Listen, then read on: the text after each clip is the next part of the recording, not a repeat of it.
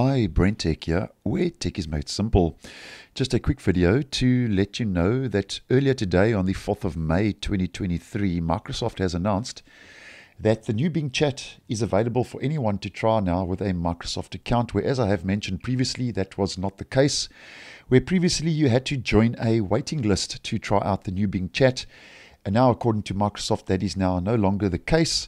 So if you had signed up to a waiting list and were still waiting to get access to the new Bing, then just to let you know that that is now over and you now have access and anyone now can access the new Bing chat with the chatbot ChatGPT. Now something to take note of, it is still in preview.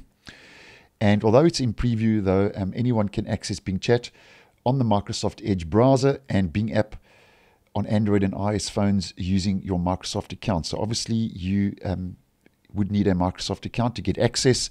And because it's in preview, you can also expect to see a couple of bugs. Now, something just else just to take note of. Although it is open for everyone, um, as an example, if I just head over to uh, the Google Chrome web browser, although if I do head up to bing.com and um, do a search for bing.com, which takes me to the new Bing search, um, although the new Bing chat is available to everyone, um, if I do try to access the chat from another browser, currently um, Microsoft, as I would call it, is um, using their assertive marketing, where you cannot access the actual chat features um, of Bing from another browser as yet. And as you can see, I don't get access to that, and I have to then open that up in Microsoft Edge. And you can see it goes through the whole process where the browser is asking me if I want to open the, that new Bing chat up in Microsoft Edge. So just take note of that. As mentioned, only available um, in Microsoft Edge and the Bing app on Android and iOS phones. Now, just a bit of a topic of interest regarding the new Bing AI. Um, currently, according to Microsoft, um, it is being used on more than 100 million um, devices. So, more than 100 million users are actually using the new Bing chat daily.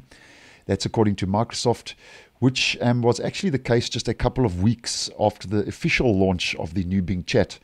Now, um, obviously, now with the removal of the waiting list, we can also expect to see this number obviously increase quite a lot over the next coming days and weeks.